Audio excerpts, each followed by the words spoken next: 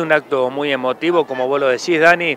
La verdad que estos dos años que tuvimos de pandemia, eh, faltaba esto también. Cada, cada colegio también se sentía con el compromiso de cada alumno de cumplir con la, con, digamos, con, con el juramento de la bandera. Así que yo creo que muy lindo, muy emotivo y bueno, la verdad que esto nos llena también de esperanza para a ver si podemos cambiar esta Argentina, ¿no? Intendente, hace algunos días estábamos rescatando y se está haciendo un trabajo importante en el rescate de la figura de Miguel de Güemes también, ¿no?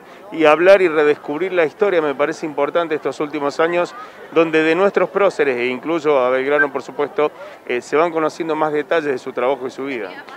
Yo creo que sí, el, recordar y, la verdad que cada prócer que ha dejado más allá de su vida, ha dejado huella en este país, yo creo que es muy importante también.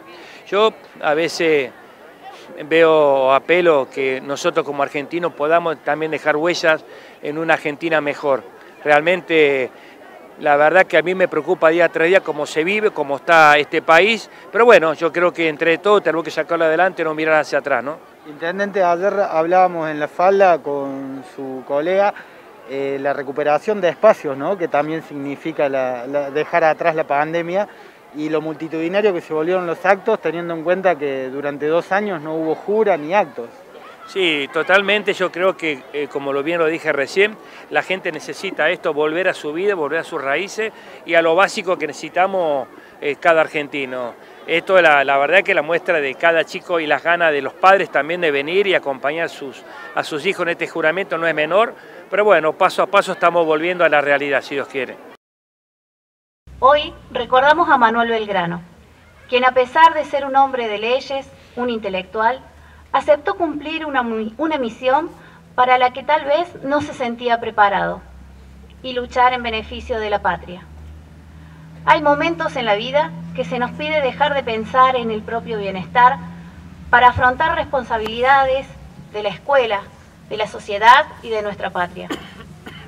En esas circunstancias, los que actúan son los hombres como Belgrano, que dejan huellas, que pasan por la vida respetando sus ideales, llevando a la acción lo que dicen sus palabras.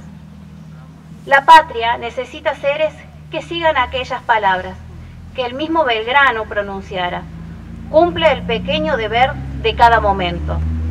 Haz lo que debes y está en lo que haces. Esto es un llamado a cumplir a cada uno con su tarea, con aquello que la vida nos encomienda. No importa cuán pequeño sea o nos parezca, cada cosa tiene su valor y al encadenarse con lo que cada uno realiza, las acciones se multiplican y se convierten en algo mayor.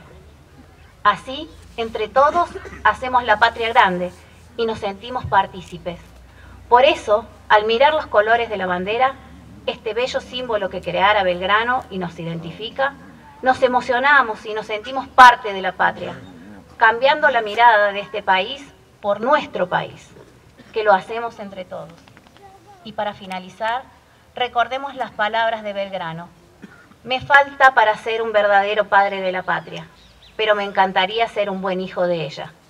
Que todos podamos decir orgullosos que somos buenos hijos de esta patria, llevando sus colores con respeto y dignidad. Por eso los grandes amores de muchos colores me gustan a mí.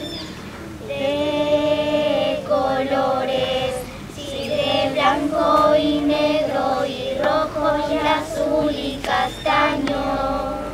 Son colores, son colores de gente que ríe y estrecha la mano.